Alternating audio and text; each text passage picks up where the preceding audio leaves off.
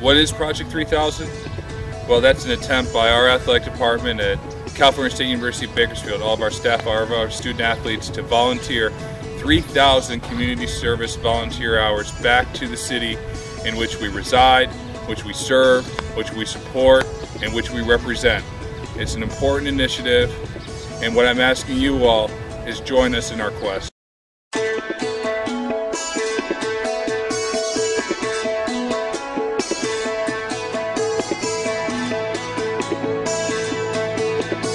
Just have to say that Cal State has, has done an awesome job involving itself in, in, the community. And they're part of the community. And for young uh, men and women to see uh, student athletes in person, to be able to talk to them and interact with them and play with them, it's just a motivator.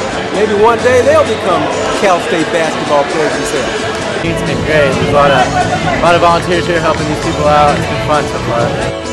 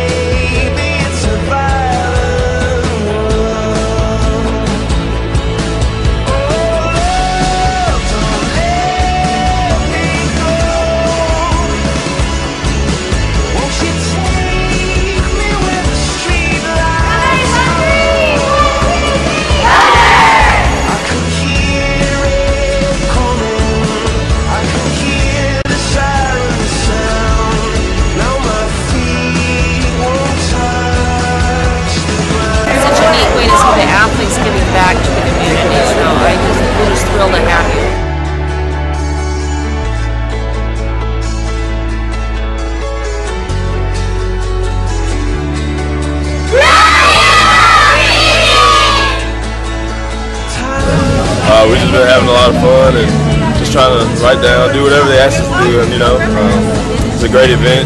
Uh, I mean, I come out and do it again sometime.